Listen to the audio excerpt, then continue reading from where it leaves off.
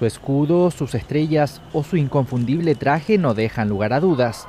Estamos ante el Capitán América, solo que en este caso no tiene que salvar al mundo, sino a su propio bolsillo. Se llama Juan Diego, es español y abandonó su país por la crisis económica.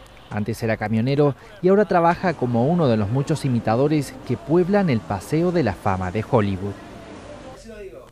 Antes de salir de casa, mientras prepara su colorido disfraz, nos cuenta los detalles de su trabajo. Porque a mí me gusta mi trabajo, porque la gente no aprecia lo que, lo que tenemos aquí. Este trabajo es muy sencillo, bonito, divertido y se puede ganar dinero. Pero no todos cumplen con el mismo código ético del superhéroe. La competencia por los billetes verdes del turista es despiadada, en ocasiones violenta, y se dan casos como el de un Spider-Man recientemente acusado de robar 6 mil dólares. Y están arruinando mi reputación y la de los buenos caracteres.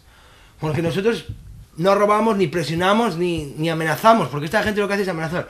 Dame, dame, dame, dame, dame, Esta violencia ha llevado a que personajes como Batman, Elmo o Chewbacca terminaran esposados ante la atónita mirada de los viandantes.